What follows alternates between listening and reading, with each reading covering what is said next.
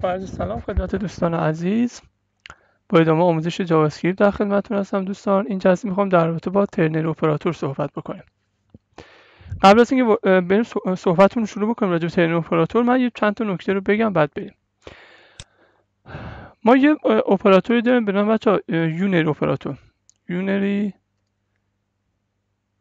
operator یعنی چی؟ به عنوان مثال. مثلا میگم let text مساوی با some text مثلا خب؟ بهش میگن unary operator. یه دونه اپراتور دیگه داریم binary operator بچه ها binary operator خب؟ یا assignment هم بهش میگن. assignment. اگه درست بنویسم. اینو نداره. خب؟ این یعنی چی؟ مثل مثلا بگیم که let نامبر مساوی سه. این.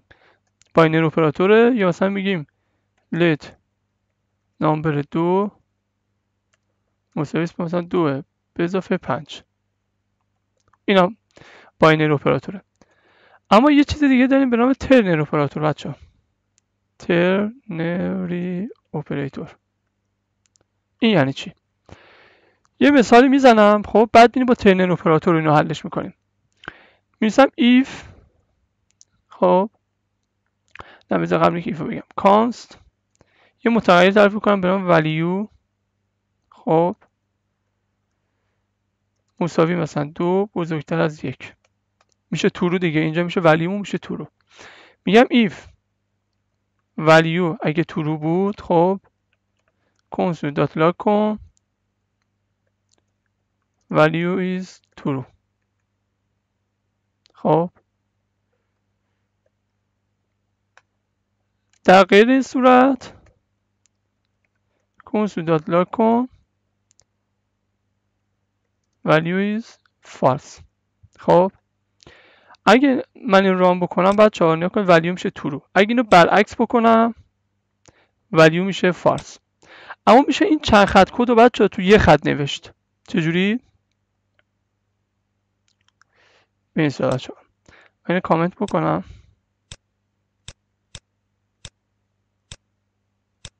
خب اینو داشته باشید.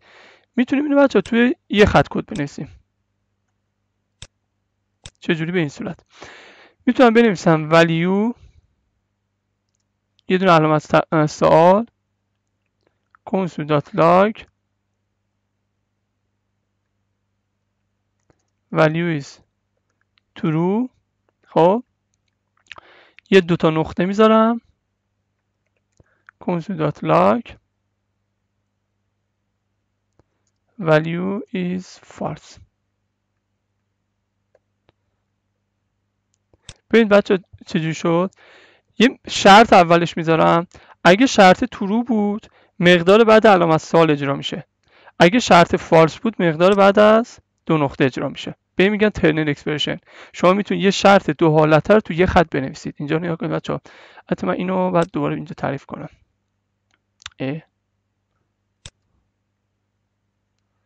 خب.